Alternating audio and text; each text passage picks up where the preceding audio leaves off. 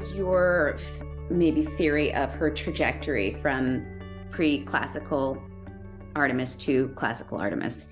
So in the book, I cover a, lo- a lot more in depth than I can even recall right now. So I would say that she comes. So it's a tricky way to trickle down because she comes for sure from the Potnia Theron, which is the mistress of animal tradition. And this tradition, this depiction actually, perhaps not the name, but the depiction, which is a goddess holding uh, out her two hands, and in each hand there's an animal. Sometimes there's like two geese, sometimes it's two deer, sometimes it's two lions. You can find this tradition I actually had an image that maybe you can share that I just came across that has like 12 of these images across the world. You find it across the Mediterranean, the Middle East, North Africa, but now they're finding a couple in South America as well. So this tradition of the mistress of animal, there's also a mister of animals, but he's a lot more insignificant, is a Neolithic tradition, I would say, perhaps even earlier. So for sure, she comes out of that tradition. And most scholars lean towards that tradition in Crete because that's where we have a lot of mistress of animals depictions. And we found a lot of this, uh, but we find it in the Mediterranean as well. But she also leans towards like Egyptian imagery, uh, like Isis, Neith, Hathor, because of her association with cows and bulls, because of her association with birthing and protection of childbirth and fertility. And she also kneel, uh, leans towards Anatolian, perhaps even Middle Eastern Cybele worship. Yeah.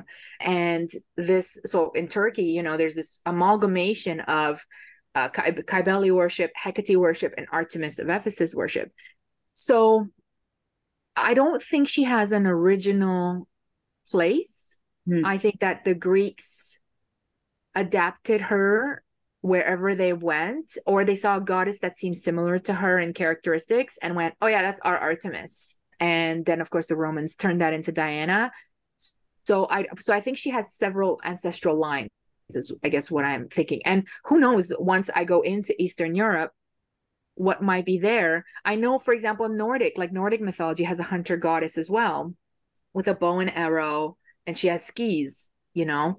I think her name is Skadi S K A D I. And so there there's so there's so much. And so I think that Artemis, Artemis, the, the name and the image that we have of her fits really well. So I guess the question should be why do we have so many hunter goddesses, right? Or goddesses of the wild all over the world? Like, what does that say about that kind of worship that humans were attracted to? And so I think that then Artemis sort of accumulates all of these aspects or or the Greeks and later the Romans take those aspects and go, yeah, that must be our goddess. Right. Um, and yeah. it's like it's actually very likely that there was also like a pre-Greek Mycenaean and probably pre-Mycenaean. Absolutely. Pre-Artemis Artemis there. And- absolutely, absolutely. And you know, speaking of like Ariadne, right, which is sort of a Minoan. I mean, Ariadne now, um, we often think of her with Theseus, and there's all this sort of uh, Greek takeover of the goddess of Crete. But Ariadne, so people go, well, Ariadne might have been a, a priestess of Artemis. Mm, maybe, but she may have been her own queen. She may have been her own goddess. It's very unclear what role, right, she played. And so I think that the Greeks blended a lot. Well, I know that the Greeks blended a lot. And so now un untying that, unthreading that is is a task. Is a task. Yeah. okay, so I have lots of questions, but I would like to let my guests ask questions if you have any.